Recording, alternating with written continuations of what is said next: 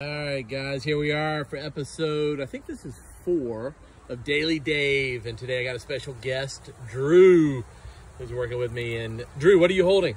Eastern king snake. Eastern king snake, Eastern king snake, Lampropeltis getula, one of the most widespread species of snakes in the United States. This is the Eastern king snake. You guys look at that. Now this one is from more of the coastal plain and the re the reason I could tell is because it has wider bands. So you guys see the bands on this eastern king snake? See how they're they're wider. So the wider bands are usually coastal and the more west you go, those lines right there, they get thinner as you go west. So some really cool things. Oh, by the way, I was going to tell you one of the things I want to point out to you guys. Look at this. Everybody see that? That's the corn snake that we talked about the other day. Now, Drew, you put that one on the ground. Away from the corn snake, obviously. And wow, does that not stand out so much more?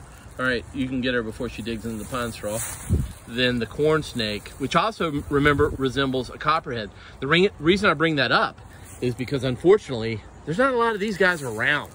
Um, and that's because they're so easily seen, right? So unfortunately, they get killed off by humans a lot.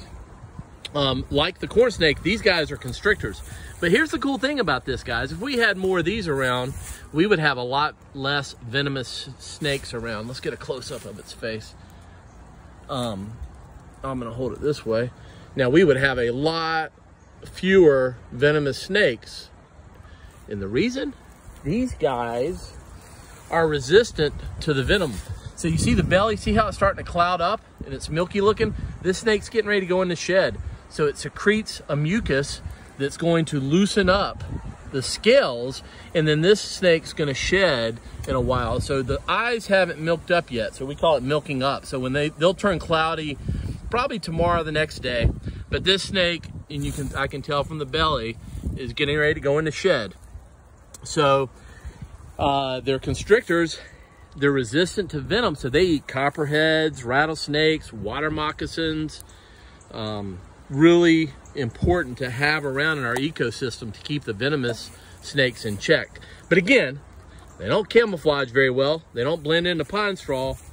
And unlike the corn snake, that's harder to see in the pine straw, these guys, unfortunately, we don't see as many.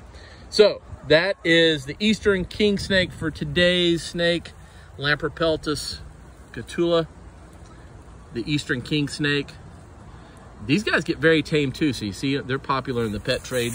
Not as much as the corn snake. What a cute dude. But uh, they do get tame and docile, as you can see, um, with Drew handling this one. And I uh, hope you guys enjoy it. Until next time,